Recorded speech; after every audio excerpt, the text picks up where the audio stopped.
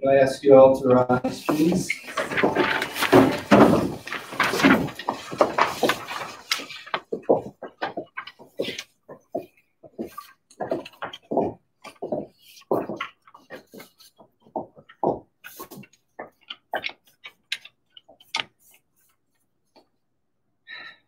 You may be seated.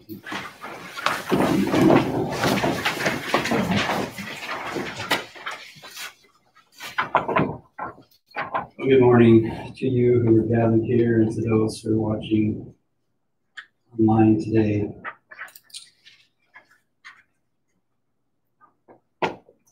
Unfortunately, it's a sad occasion that brings us together, but yet in all of it, there is hope. And those of us who have professed our faith in the Lord Jesus Christ can gain that hope through him today. My name is Pastor Rick Foster, and it's an honor for me to stand before you and with you today, Mavis, Vanessa, Carissa, to lead this service for Kevin. The Bible tells us that there's a time for everything under the sun, purpose for every activity. Time to be born.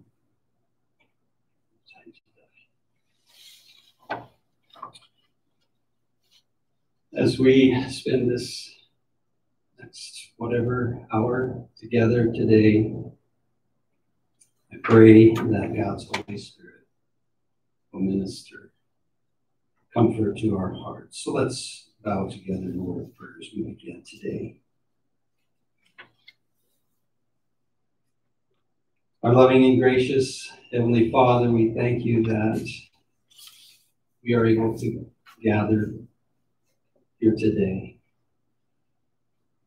We thank you that we are able to share in life memory today of Kevin Green.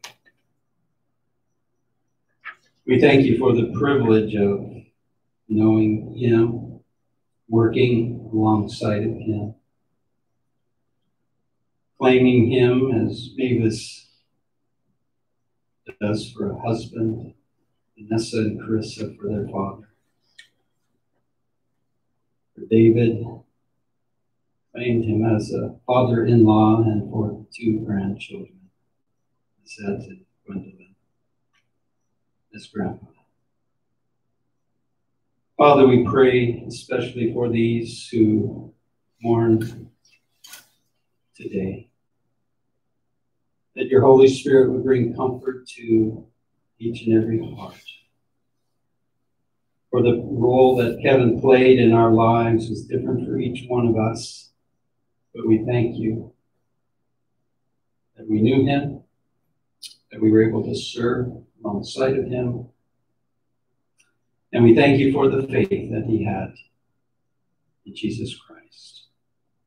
Lord, we desire that this service today might not only be a, a good reflection of Kevin's life, but it will also be that which would honor and glorify the Lord Jesus. In whose name I ask these things.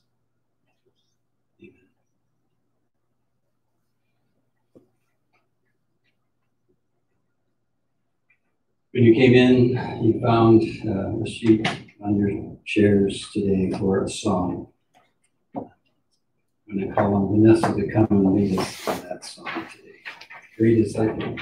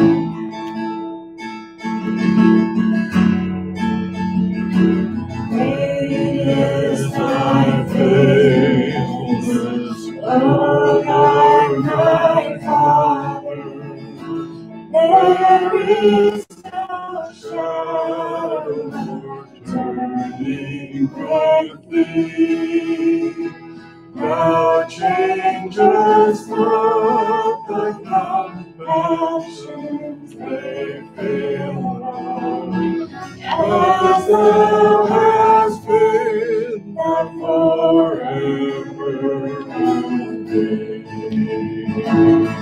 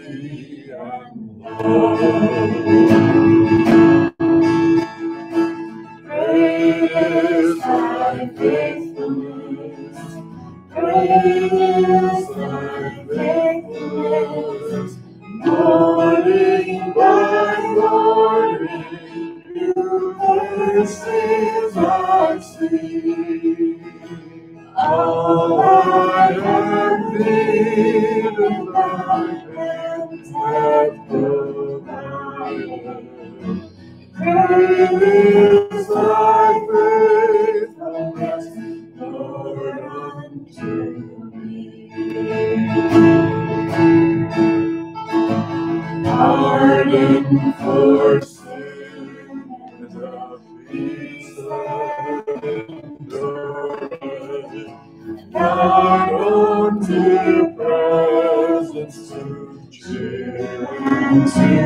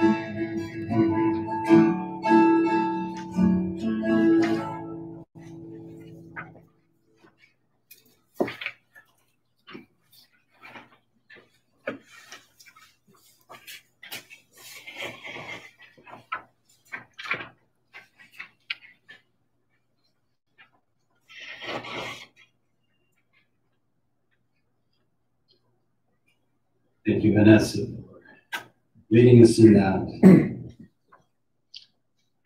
I'm going to uh, call on Randy Elmer to share the eulogy with us, give us a little more of a picture of uh, Kevin's life.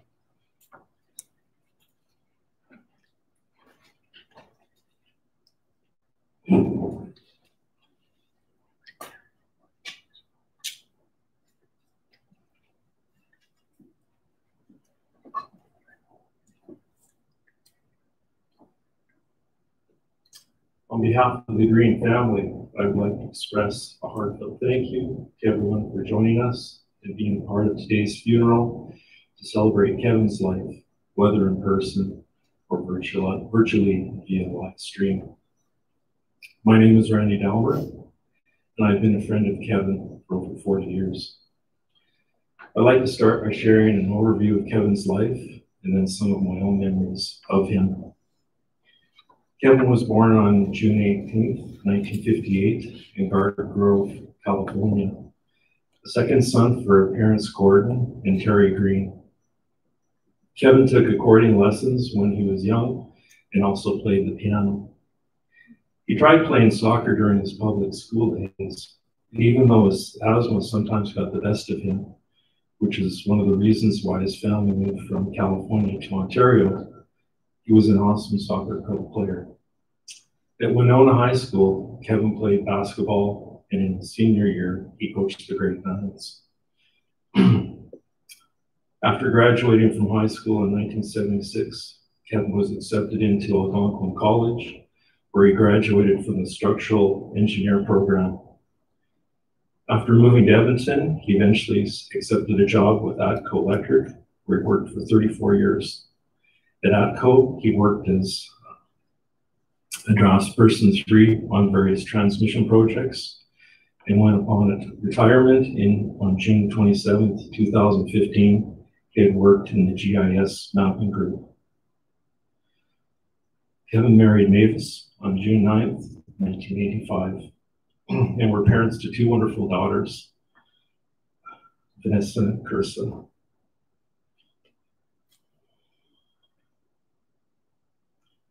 Kevin's passion for woodworking, sorry, Kevin's passion for woodworking, and he, he enjoyed using his uh, scroll saw to create intricate art. He was very actively involved in his church and loved to volunteer. Since retiring, Kevin and Mavis have enjoyed traveling to various countries.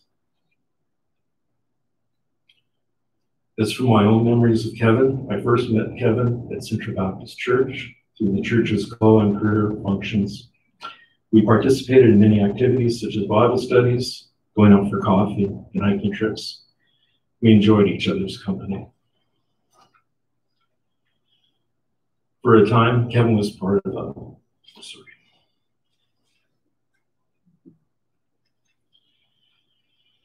One of my favorite memories I have of Kevin was when he uh, mentioned he was involved with Uncles at Large with a young boy named Richard. I was impressed with his concern and compassion, and that he so willingly gave of his free time. He offered this young boy a positive male role model through mentoring and friendly support. Kevin kept in touch with Richard for many years. In 1982, Kevin invited me to Parry Sound, Ontario for Christmas. I enjoyed meeting his family and the hospitality they showed me Kevin and I went on a short road trip to Hamilton, Niagara Falls, and Buffalo, New York. I remember when we first arrived in Buffalo, it was early in the morning, we took a wrong turn, ended up in a really rough area, something we'd never seen before. There was broken glass everywhere we looked. And as we were driving, uh, two men suddenly came running out of the house towards us, and we really panicked. Fortunately, to our relief, it just turned out they were going to their car. Two years later, in 1984, while out in the parking lot of his apartment, Kevin noticed a beautiful young lady that he had met at Central Baptist Church. I'm sure Kevin made some excuse to go and talk to Mavis, or was it Mavis that needed some assistance with her car? Either way, they were smitten and were married on November 9th, 1985 in Swan River, Manitoba. It wasn't too long before both of us became fathers to our firstborn daughters.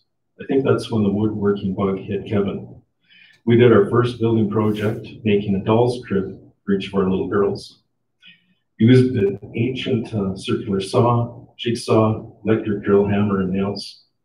We worked in a dimly lit garage, but we were sure excited about our project. The finished doll cribs looked great, and we were definitely proud of them. Kevin was quite enthusiastic and wanted to do more projects.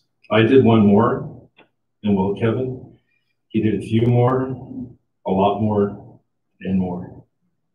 He developed great skill in working with wood, creating amazing works of art using the scroll saw. Recently, I was looking at a wedding gift that he and Mavis gave to his daughter and son-in-law. It was a trivet, which they kept on their kitchen table. I held it in my hands, looking at the intricate detail and design. Completed perfectly. Kevin had amazing patience, perseverance, and obviously an advanced skill level. if you attended any of their craft sales, you would have known what it's talking about. For a time, Kevin was part of a woodworking group that decided to take on a major project to honor all of the fallen Canadian soldiers who fought and died in Afghanistan by scroll sign, intricate silhouettes from photos provided by each soldier's family. Kevin was honored to be a part of this project and knew it truly touched each family family who received these works of art.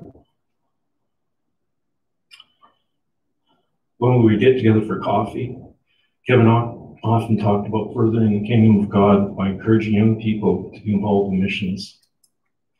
He served on the Global Missions Committee here at Ellerslie Baptist Church. He assisted the youth pastor with youth mission trips to Mexico, first by being a driver, chaperone, and later helping organize the trips too. Here in, in Edmonton, he was involved in getting senior high students to serve meals at the Hope Mission. He had a passion for the youth and mentioned his desire that in the future, some of these young men and women would have a passion for full-time mission work. Kevin also enjoyed ushering here at Ellerslie Baptist Church. He did this for 30 years. Although our lives got busy, we didn't see each other uh, very always didn't see each other very often. We could always count on our annual uh, Valentine's dinner with Kevin and Mavis. It was always so good to catch up on what was going on in their lives. We got to hear about their family, and later also about their amazing trips that Kevin meticulously had planned. It's evident that this godly man had a rich life in service to the Lord, his family, friendships, and leisure activities. It's been an honor to share this with you this morning. And on behalf of myself and my wife, Betty, we want to express our heartfelt love and sympathy to you, Mavis, and your family. God bless.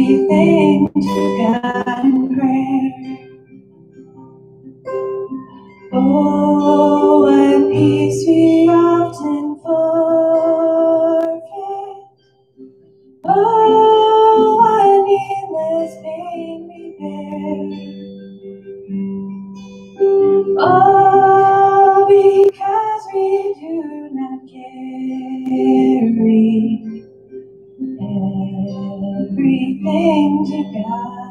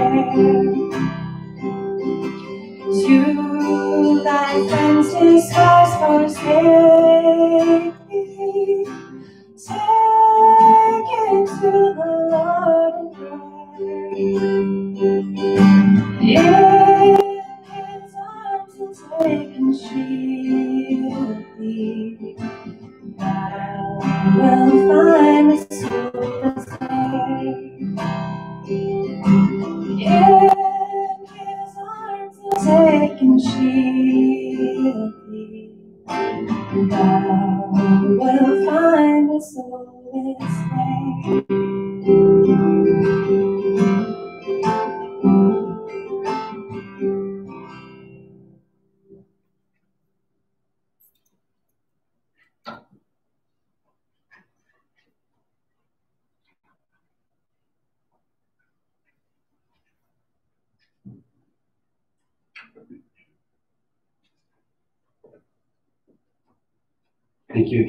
again, Vanessa.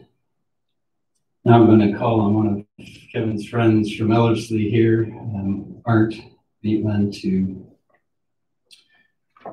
share with us and lead us in the reading of God's Word today.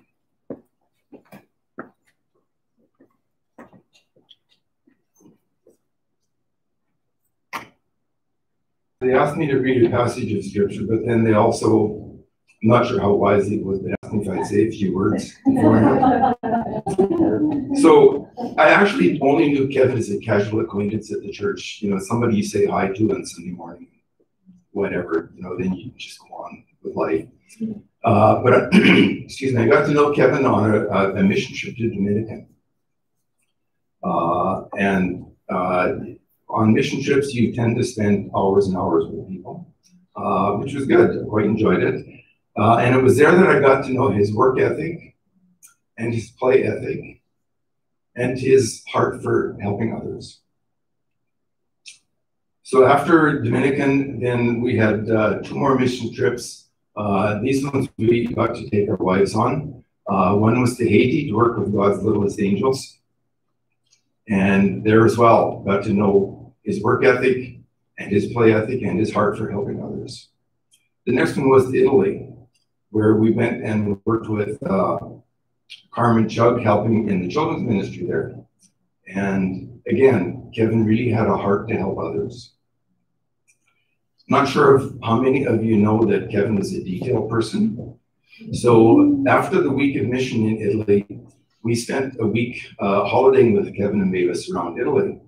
And we had got together before that, you know, to plan where are you going to stay, what are you going to do, and that type of thing.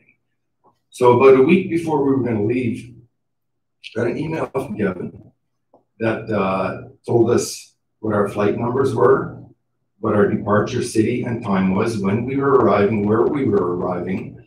Uh, after the week with Carmen, uh, it was listed where we were picking up the car, what the car was, where we were driving to, the name of the hotel, the address of the hotel, and the phone number of the hotel. So the whole week was planned like that. It was actually quite good. I quite enjoyed having my own personal travel agent. Sometimes I think Kevin maybe spent almost as much time planning a trip as he did going on the trip. Anyways, quite enjoyed it. Uh, and as Randy mentioned, he also went on uh, trips to Mexico with the uh, Ellerslie Youth from 2016 to 2019. I didn't get to go with him in 2016, but I did in 17, 18, and 19. Uh, and I don't know if anybody listening or here uh, was a parent or had a youth that went to Mexico, but I, I realized or remember in 2019, the handout that he gave to the parents was again detailed. Uh, it told them what time we were leaving Ellerslie, when we were arriving at the Alliance Church in Lethbridge, the address, the phone number, how long the drive was, what time we were leaving there the next morning, when we got to the US border, when we got to Pocatello, how long the drive was, the name of the hotel, the address of the hotel, and the phone number. And the rest of the trip was planned like that as well. Parents didn't have any excuse for not knowing where their kids were going to be. And he really enjoyed building houses in Mexico. Uh, again, his, his heart to help other people. And the other thing he really enjoyed was after working on the house for the day, you get back to the compound and he liked to go to the confectionery store and get a great soda pop. Quite enjoyed that. After that, or during that time, and and, and we have holidayed with Kevin and Mavis, uh, and we have really enjoyed uh, the time that we spent on vacations. Uh, and and they were basically planned the same way. Uh, there was some time that wasn't planned, but for the most part, you knew what you were going to do and where you were going to go and you knew all your flights, times, dates, locations, all of that information was always there. And we quite enjoyed that. So as well as holidaying uh, with them, uh, I also spent time with, with Kevin in Edmonton here. Uh, we went to football games, we did hikes. Uh, we went to, I was one of the people that was helping Kevin serve at Hope Mission, which he really enjoyed. And quite often going to football games, Kevin would would say like, why do you have season tickets? You don't cheer for the Eskimos, which of course he did. And I said, well, one of the reasons is so that I can go and cheer for the other team because I don't like the Eskimos. Anyways, really enjoyed spending time with Kevin. Now I'll do what I was asked to do. Psalm 23. The Lord is my shepherd, I shall not want. He makes me lie down in green pastures. He leads me beside still waters. He restores my soul. He leads me in paths of righteousness for his name's sake. Even though I walk through the valley of the shadow of death, I will fear no evil, for you are with me. Your rod and your staff, they comfort me. You prepare a table before me in the presence of my enemies. You anoint my head with oil. My cup overflows. Surely goodness and mercy shall follow me all the days of my life, and I shall dwell in the house of the Lord forever. May the Lord bless.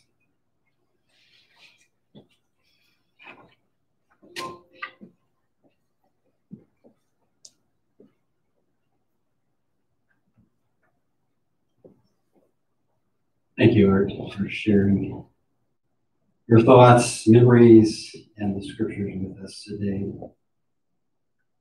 I had the privilege, even under COVID restrictions, to see Kevin cross and to pray with him and to share that same psalm with him as he lay there. Carissa, it's your turn.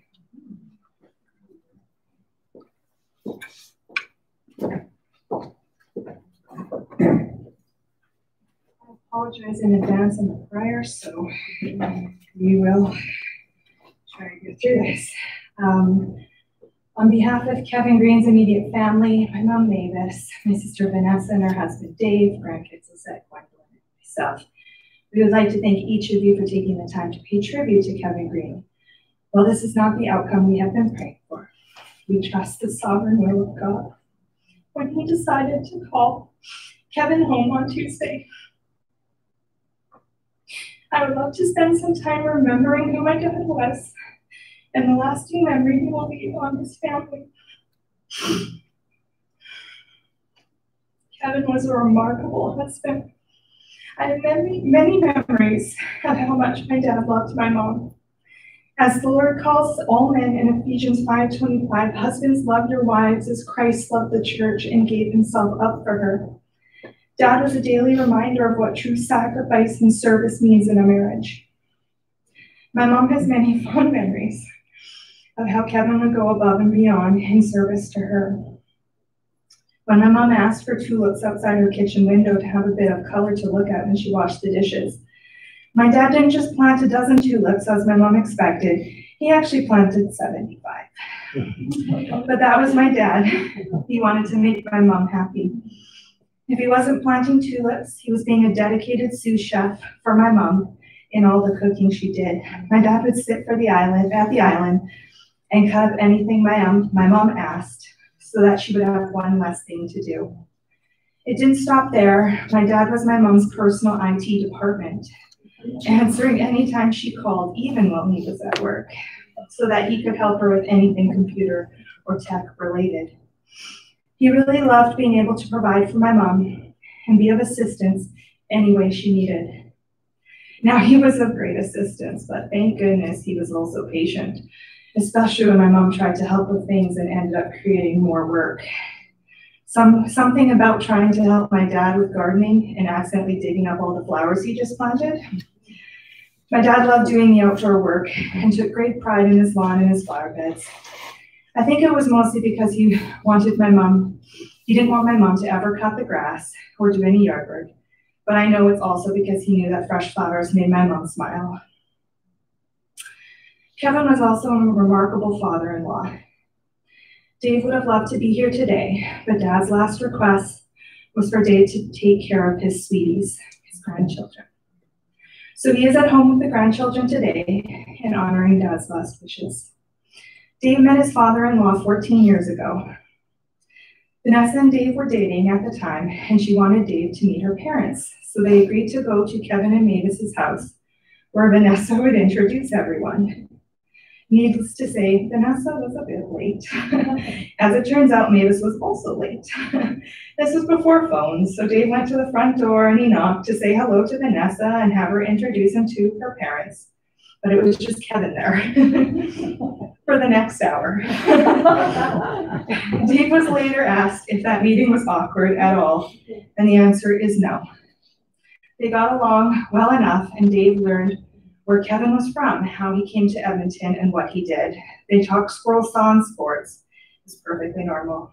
Sometimes they'd have tiny disagreements over details like how tall to build a workbench, or how best to drive a car onto ramps for an oil change. those were the exception. Most of the time, they just happily worked on construction projects together or went to hockey games or barbecued. When Dave became the father of two girls, little changed. They just switched from building workbenches to building swing sets. Dave never was close with his own father, so the normalcy and ease of his relationship with Kevin was always something very precious to Dave. Dave was, Kevin was also a remarkable dad.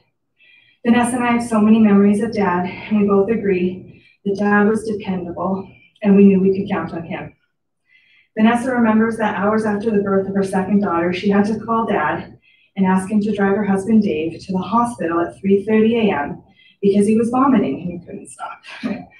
Dad drove him there, helped him out, and then took Dave back to his house to sleep while Vanessa cared for their newborn daughter.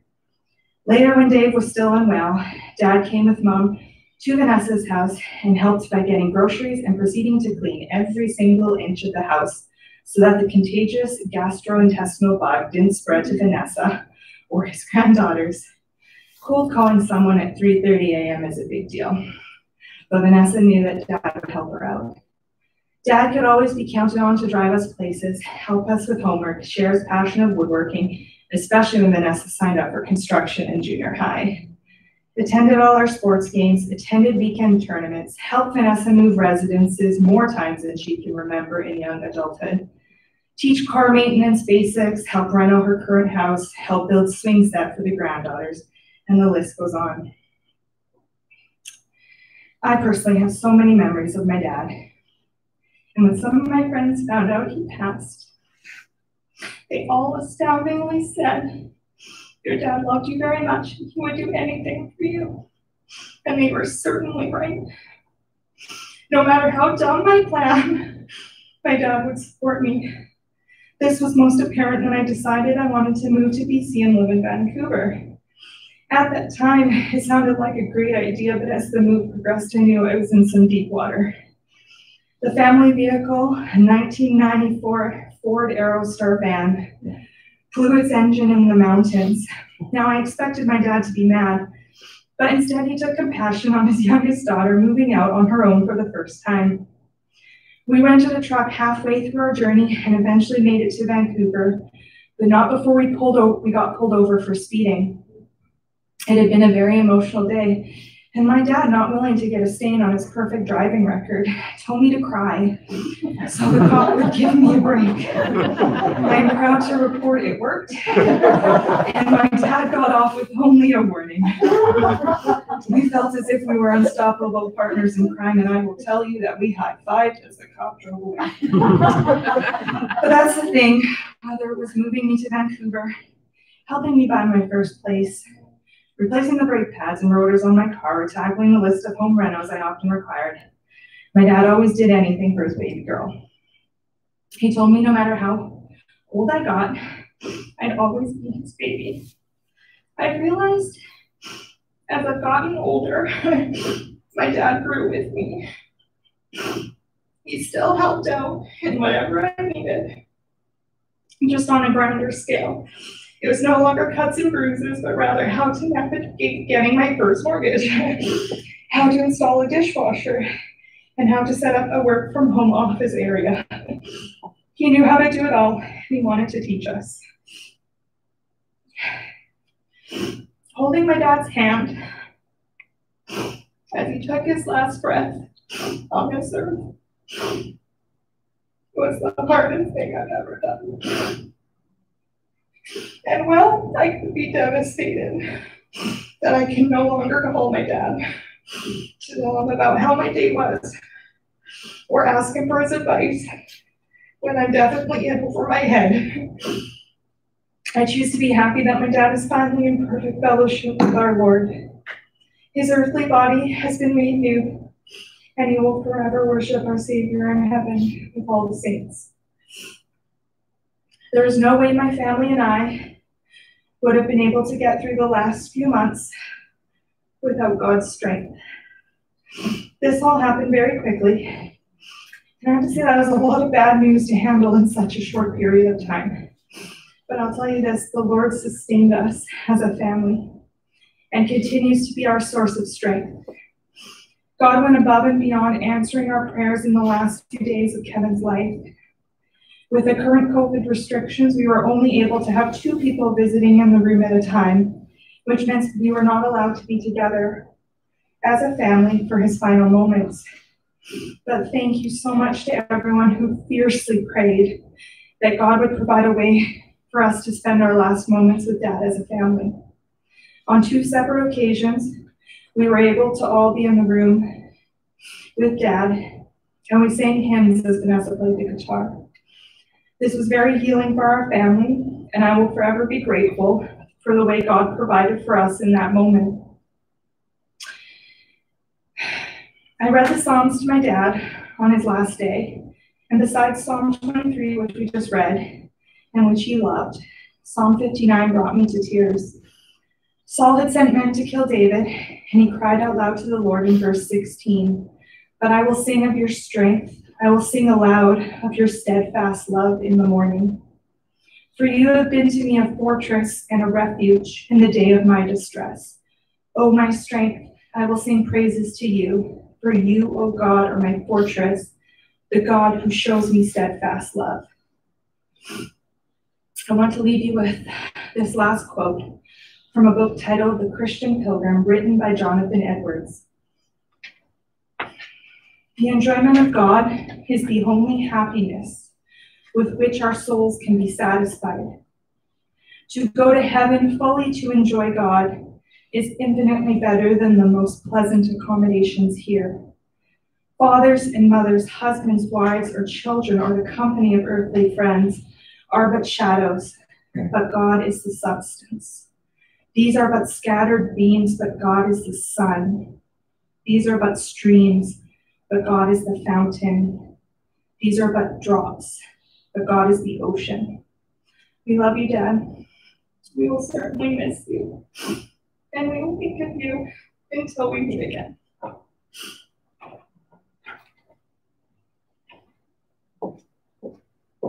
Thank you,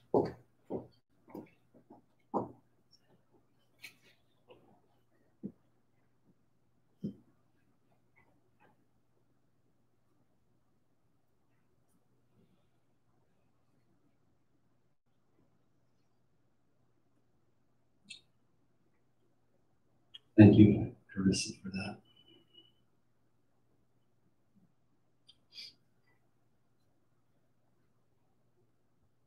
I said to uh, Mavis and Carissa the other day as we were talking about plans for today that um, I felt it was important that they could be involved, the girls could be involved as they were.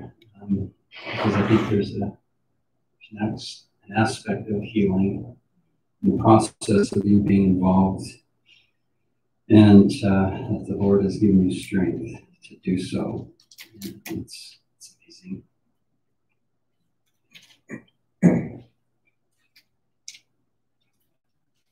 Knowing the story behind something or someone often increases not only our understanding, but makes it or them more meaningful and appreciated.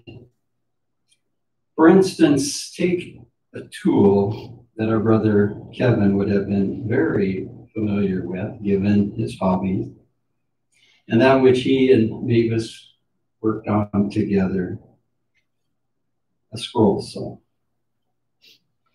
I certainly was not aware that the forerunner to what we know as a scroll saw was first patented in England in 1829. That's a 190 year history to a machine that is used for making fine, intricate cuts, mainly in wood, giving an ornate look to everything from Christmas ornament to the gable end of a house and the scroll work that is seen on a fascia sometimes. Masterful use of such a tool lends itself to the creation of beautiful works of art. And we know that Kevin was good at that. I want to say that I have certainly appreciated the stories shared today about Kevin's life. Although having known Mavis since Bible college, which was a few years ago, I did not get to know Kevin until we started our journey here with Ellerslie, which has not even yet been two years. And with so many new faces to get acquainted with, my time spent getting to know him was limited to basically a couple of visits at their house and greeting him on Sunday at his usual post at the door to the sanctuary. So, my thanks to each of you who has contributed to my understanding and appreciation of this brother in the Lord. Also, to Mavis, Vanessa, and Carissa, Thank you for sharing your husband and dad's life with us. I trust that for you, the reflecting and writing of his story, which you have done in these recent days, has given you a new understanding and appreciation of the man you call husband and father. Such things help us in our time of sorrow, and it reminds us that as people, we are beautiful and unique works of art, intricately formed by the hand of a masterful creator. And because of him, we do not sorrow as those who have no hope. Some of what the church staff and others have shared with me this past week bear a common thread. They all acknowledge Kevin's strong capabilities as an organizer and leader, and as someone with a servant's heart and a desire to honor our Lord. Also, as one who had submitted his life to Christ, he was concerned for others, both near and far, that they too might hear the good news of the gospel and come to know Jesus Christ as their personal Savior. His participation with our church youth serving at Hope Mission, and I understand Mustard Seed as well in the time past, and his involvement with ERBC's missions team youth trips to Mexico are evidence of his concern for others, that they might know the love of God that we have in Christ Jesus. Concurrently, his involvement in these things also set an example for numerous young people within our church's ministry instilling in them the desire to love and to serve God by serving others. To those younger ones listening in who were influenced by Kevin's life, you can honor him and the Lord by continuing the, the example that you saw in his life. It was the Apostle Paul who said, Imitate me as I imitate Christ. Now, Kevin might not have been saying that to the youth of ERBC, but he was no less setting an example for all of us to follow. I want to focus our attention briefly today on another passage of Scripture, which the Apostle Paul wrote to the believers in Colossae. In his opening chapter to this short letter, he expresses his thanksgiving to God for their faith and advancement of the gospel, and he prays for them. Now, this prayer is one Kevin may have used for the youth that he administered to and with or for the global missions partners that he interceded for, or even for his own family. Such a prayer demonstrates the virtues of faith, hope, and love and give evidence to the fruit of God's Spirit in the life of the believer. Here in Colossians 1, Paul says, And so from the day we heard we have not ceased to pray for you. Now let me pause. Just say, what had Paul heard? Well, you have to go back to verse 4 of this chapter. He said he had heard of the faith of the Colossian believers and their love for all the saints. So that's what he's referring to. Let me start again. And so, from the day we heard of your faith and your love for all the, the saints. We have not ceased to pray for you, asking that you may be filled with the knowledge of his will in all spiritual wisdom and understanding, so as to walk in a manner worthy of the Lord, fully pleasing to him, bearing fruit in every good work and increasing in the knowledge of God, being strengthened with all power according to his glorious might for all endurance and patience with joy. Giving thanks to the Father who has qualified you to share in the inheritance of the saints in light. He has delivered us from the domain of darkness and transferred us into the kingdom of his beloved Son, in whom we have redemption, and the forgiveness of sins. In Paul's prayer for these Christians, he prays three things. One, that they might know God's will by being filled with all spiritual wisdom and understanding.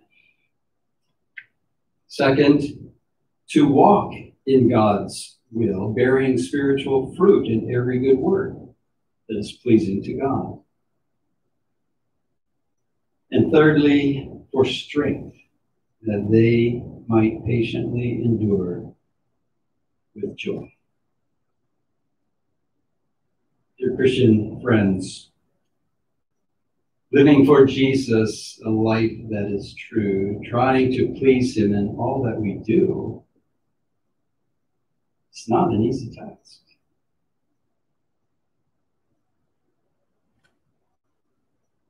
It requires these things for which Paul prayed for these believers in Colossae.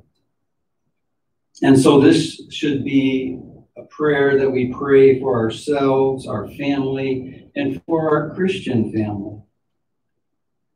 To know God's will, to walk in His will by the power of the Holy Spirit, and for strength to patiently endure with joy all that will come against us in this life. This is especially true now for Kevin's family and those who love him the most and will no, no doubt miss him the most. To finish his prayer, Paul reminds us of three other things. Three things that God has done. One, he has qualified them, us, to share in the inheritance of the saints. Secondly, he says he has delivered them, us, from the domain of darkness. And thirdly, he has transferred them, us, into the kingdom of his Son, in whom we have redemption, the forgiveness of sins. To be redeemed is to be bought back, which Christ did on the cross when, through his death and his shed blood, he paid the price for our sin. We receive the forgiveness of sins when we confess our faith in Christ and put our trust in what Jesus did on the cross. We are then delivered from the domain of darkness, transferred into the kingdom of light, and made heirs of God, co heirs with Christ, Paul says in Romans, and now qualified to receive the inheritance of the saints, which is eternal life. Friends, our dear brother Kevin has gone on before us to receive that promised inherit, inheritance of eternal life that is offered to those who believe, who trust in Christ as their Savior. His faith has been made sight. His prayer of faith to receive the gift of God has been answered. He has passed from death unto life, where he now waits for us to join him in the resurrection to eternal life. Hear the words of Jesus, who admonishes his followers to be faithful unto death, and I will give you the crown of life. As Kevin was faithful May his example inspire our desire to be faithful unto the end of our days. Join me in prayer.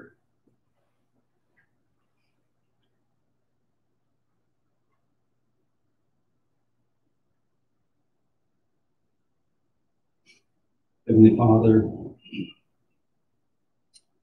as we ponder the course of our own lives, having reflected today on the life that Kevin lived, cause us to consider the purpose and plan that you have for each one of us. That we might know your will and walk in it with joy while we patiently endure all that yet lies before us.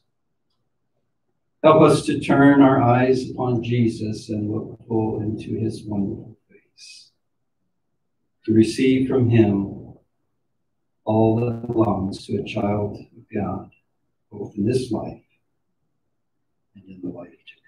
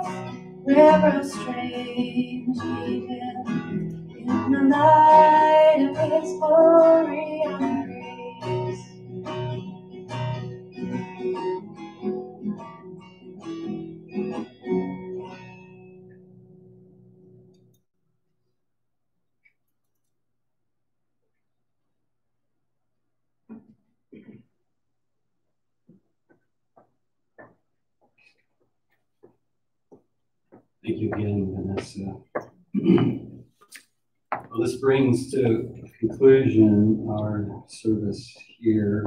I need to make just a few announcements before we depart. And uh, one of those is that um, there will be no vehicle processional to the cemetery today. Um, you will, uh, you can follow the funeral car if you can keep up with it. But um, you have to make your own way there.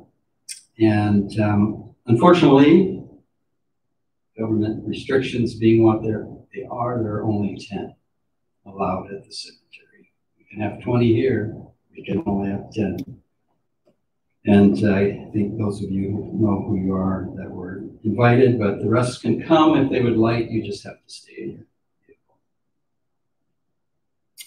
And lastly, um, you're welcome to pick up um, a bag just outside the doors here, which is a little lunch for you as uh, you make your way homeward or to the cemetery.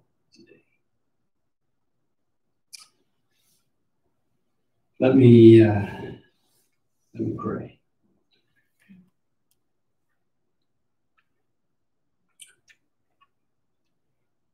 Gracious God in heaven,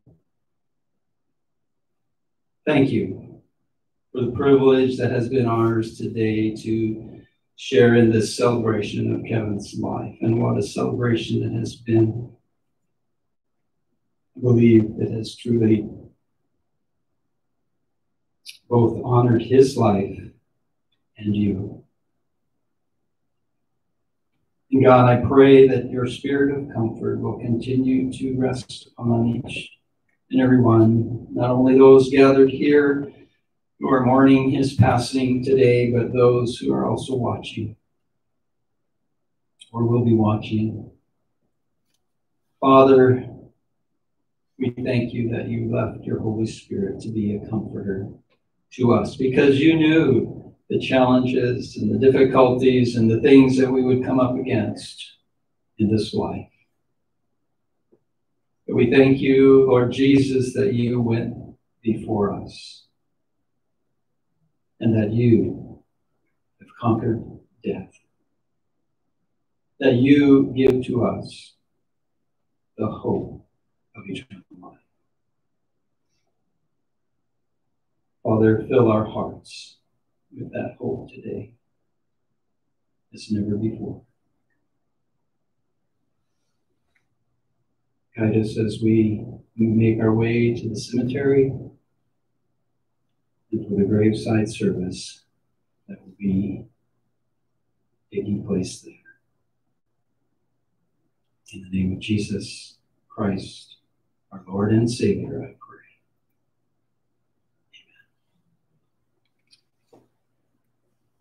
Please stand.